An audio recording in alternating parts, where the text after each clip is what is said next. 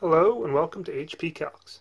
I'm Rick and today we're going to look at how to do some statistics on the Sharp EL501X calculator.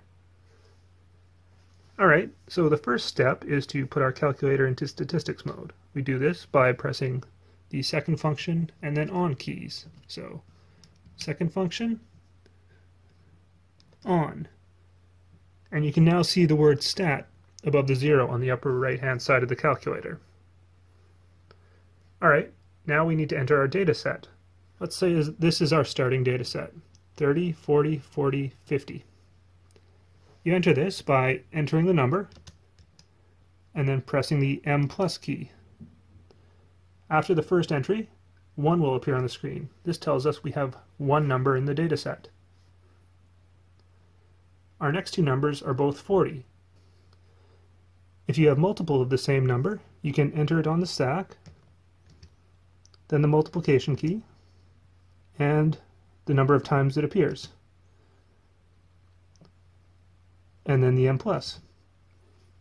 You can now see we have three items in our data set, and our final number is 50.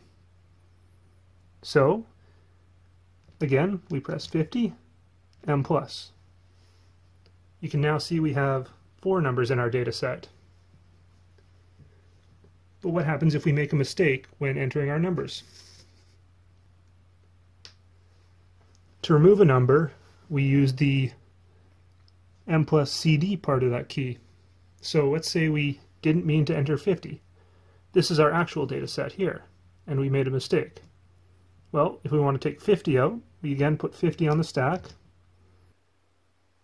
then press second function, and then the M plus with the CD over top. Now we have three. This tells us we have three numbers in our data set. These three. All right, let's take the 40s out. Just like how we entered them, we can put 40 on the stack times 2 and then second function CD. All right, you can see we now only have one number. That's our 30, which is the actual number we want. And then let's enter the rest of the correct data set. So that's 345s.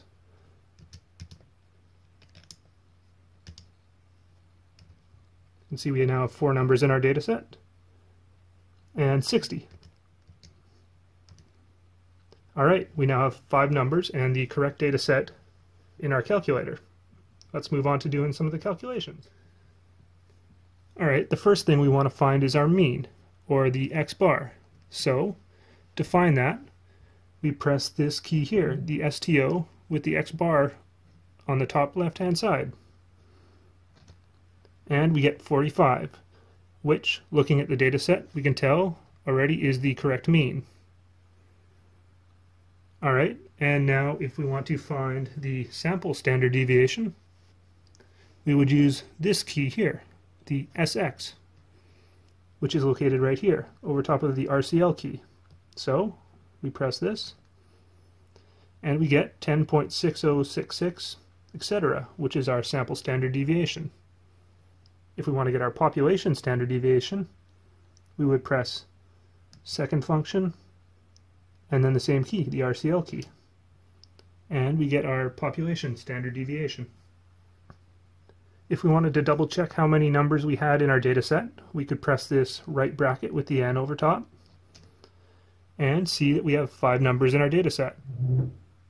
If we want to see the sum of our data set, we would press the second function key and then that same key and see that the sum of all of our numbers is 225.